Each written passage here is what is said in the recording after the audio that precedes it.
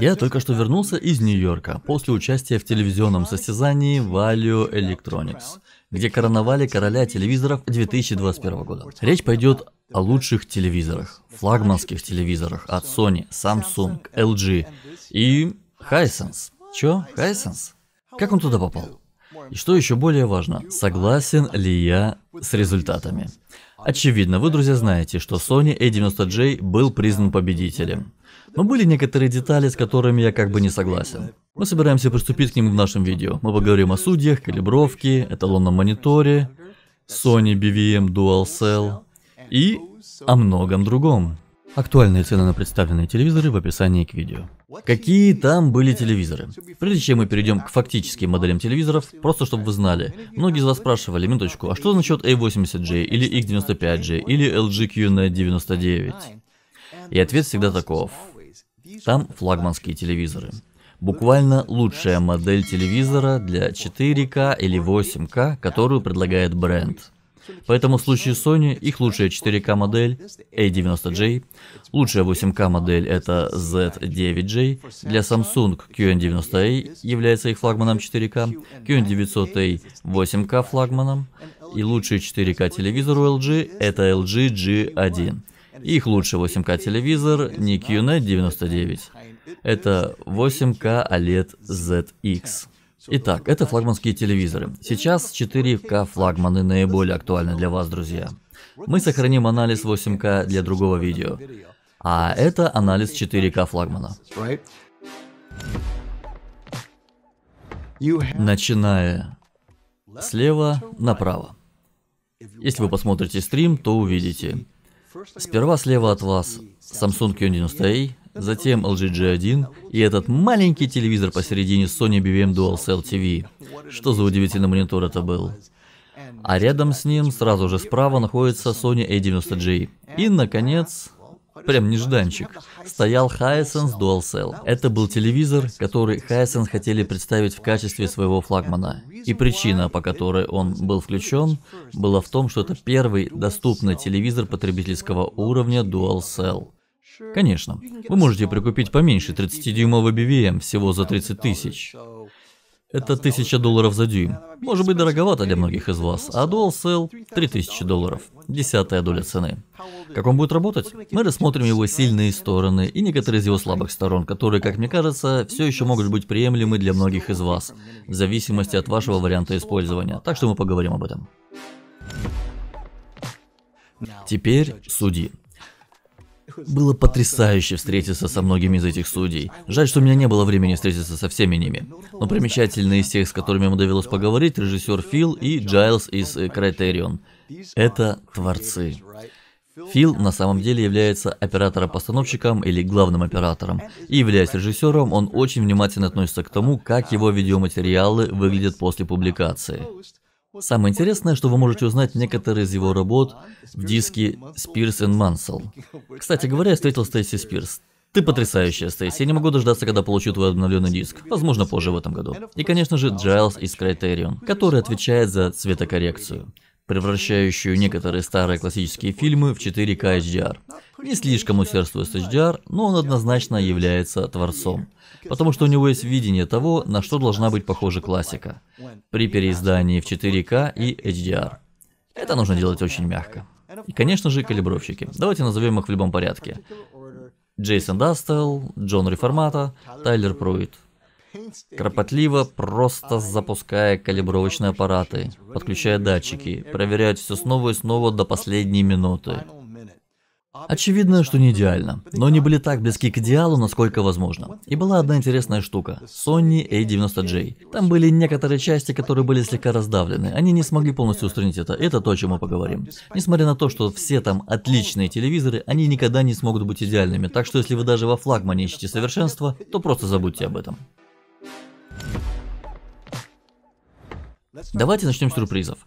Hisense Dual Cell – Точность светопередачи в режиме HDR, я был удивлен. Я был поражен тем, насколько похоже он выглядел с BVM. И многим сценам, неотличимым по тону кожи от A90J и лучше, чем на G1 или QN90A. Вторым сюрпризом стал QN90A. Исполнение HDR феноменальное, яркое, насыщенное, точно такое, как я ожидал от Samsung. HDR в яркой комнате. Это телевизор, который я бы выбрал среди всех этих телевизоров, потому что он действительно достиг пробивного HDR который, как мне казалось, на леди будет лучше, и OLED сделал его в многих отношениях, но Q90i показал себя намного лучше, чем оценили на шоу, так что как потребитель, я подумал, что Samsung Q90i сделал все отлично, и его черные полосы были черными, да, намного чернее, чем на DualSell, и это был второй сюрприз. Так что давайте перейдем к разочарованию. У QN90A черные полосы были чернее, чем у Hisense DualSell. Что случилось? Это же DualSell. Хотя многие жалуются, что Samsung немного подавляет черный. Я вижу, как он это делает. Он предпочитает слегка затемненные звезды любому возможному блумингу.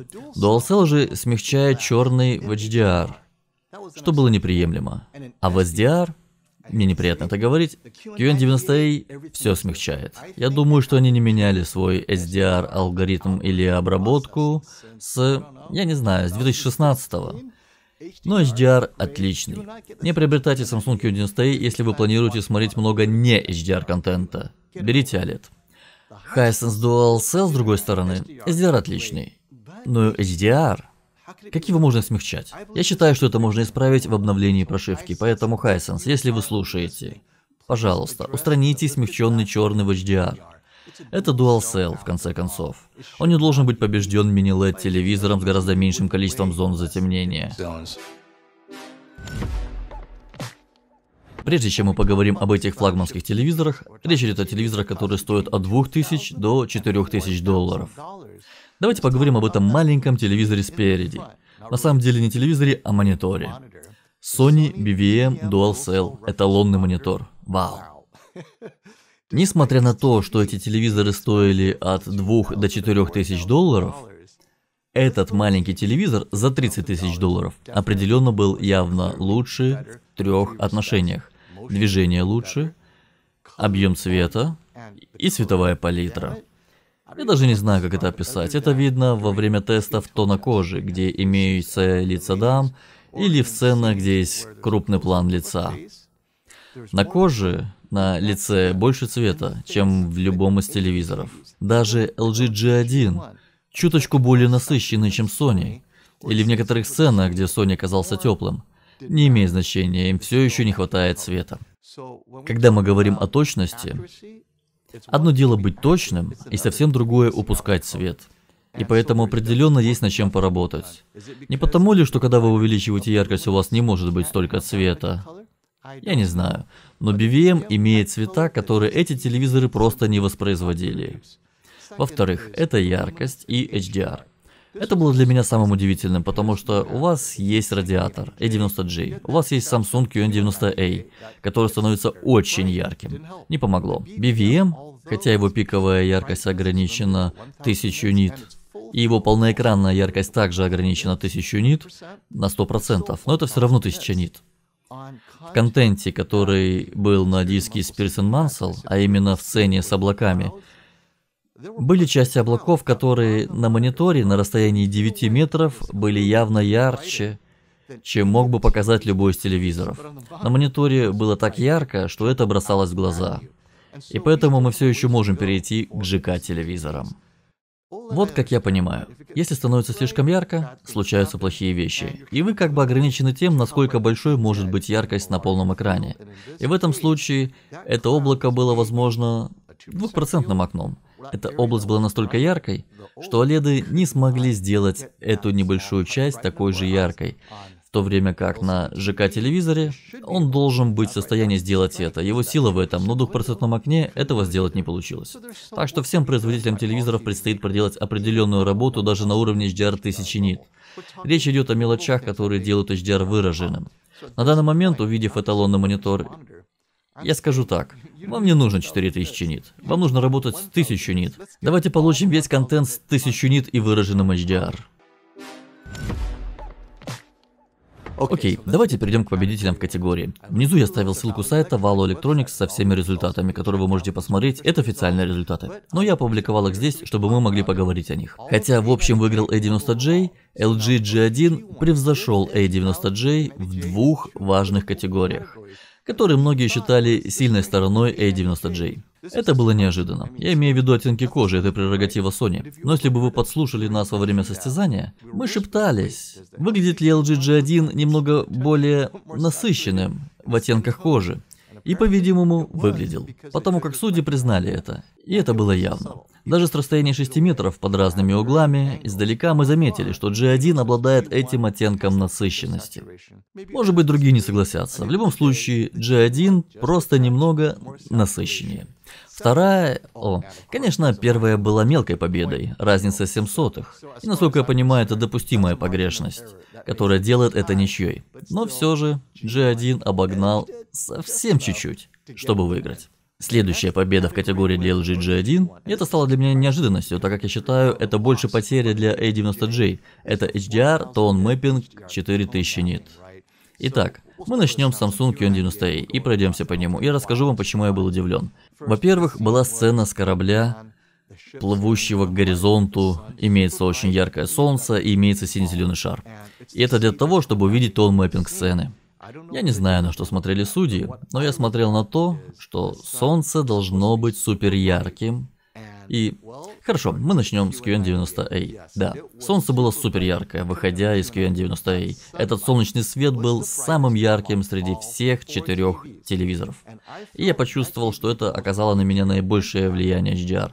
Он дал мне эффект от этого солнца. Вот почему они проиграли. Это солнце было ярким и резким но внутри было очень мало цвета. И мы говорили о том, что при повышении яркости вы теряете цветовую детализацию. Это был тот самый случай. Бум! Яркий, желтый. Но в ярком желтом солнце была оранжевая дымка.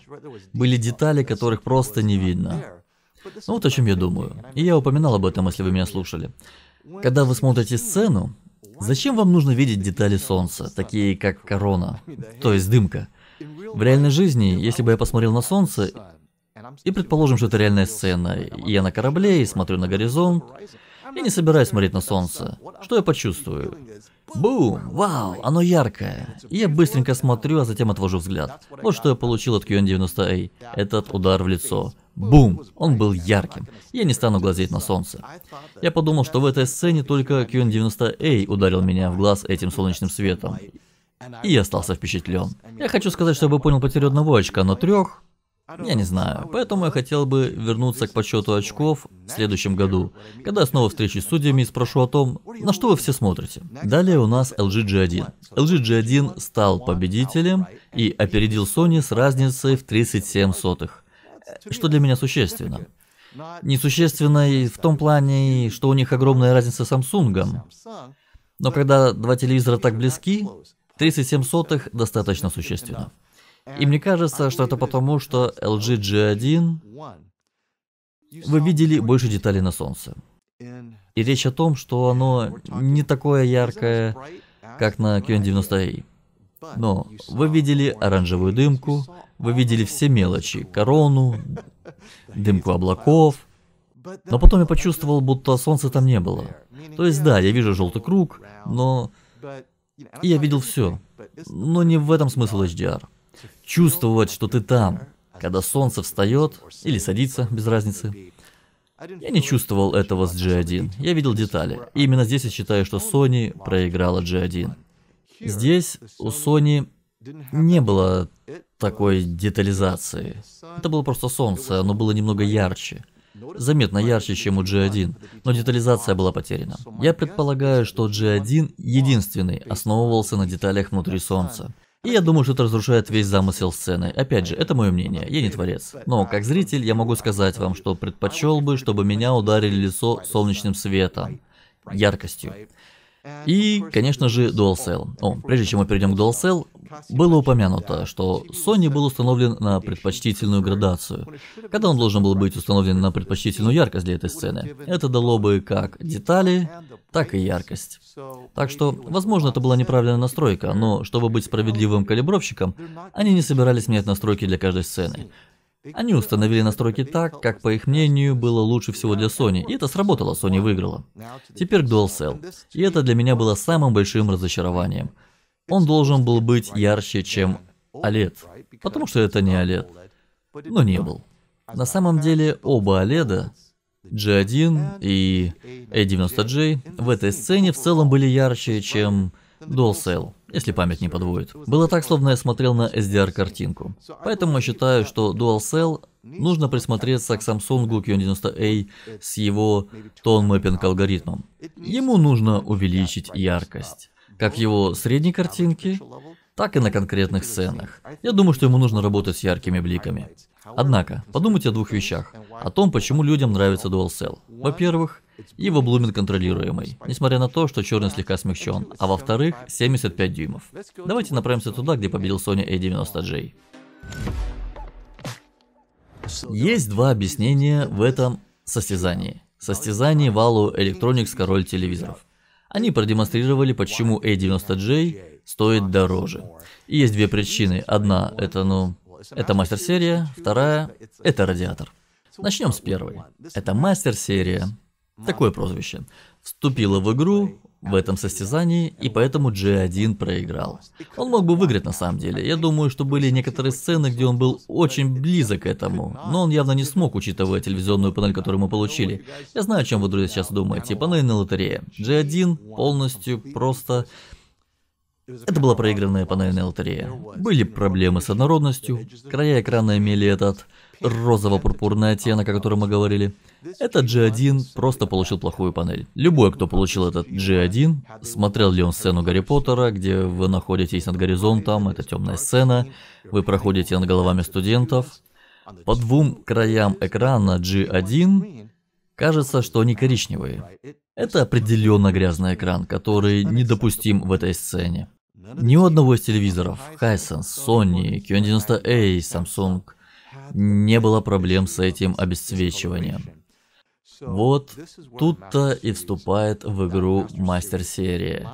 Линейка мастер-серий. Я поговорил с представителями Sony, и они мне очень четко объяснили, что для того, чтобы войти или оказаться в телевизоре A90J или в любом телевизоре мастер-серии, сама панель от LG Display, когда LG Display отправляет это LED-панели, Sony осматривают каждую панель и начинают их сортировать. Ниже определенного порога показателей на A80J. Выше этого порога показателей на A90J. Так что все A90J, скажем так, уже были отобраны. Они были отделены на основе превосходной однородности и качества изображения этой необработанной OLED-панели. Такого же нет ни в G1, ни в A80J, что означает, что у G1 имеется все. Есть и похуже панели, есть и получше панели. Он неоднозначный. Вы не знаете, что получите. Так что получить G1 это все равно, что открыть коробку конфет. В A80J вы знаете, что получите. Все, что ниже порога верхнего уровня. Вот. Поэтому люди апгрейдятся с A80J на A90J. A90J гарантирует, что вы получаете лучшую однородность. Теперь, у вас есть однозначно вариант. Но многие люди говорят, подождите, у меня есть A80J и A90J, они так похожи. Ну, лучшие панели 80J и худшие панели A90J близки, потому что у вас есть этот срез. Там, где срез этих двух панелей пересекается, когда вы бросаете одну, когда вы толкаете одну вверх и толкаете одну вниз, есть панели, где вы такие, достаточно ли хороша для 90J? Возможно. Или она так ужасна, что должна быть в A80J? Возможно. Эти, возможно, пересекаются, вот где они больше всего похожи. Но по мере того, как вы расширяете шкалу, A90J и худшие из A80J были еще хуже, их просто выкинули нафиг. У вас появляется это неравенство, где A90J явно лучший телевизор. Так что в плане состязания все A90J имеют минимальный порог однородностей.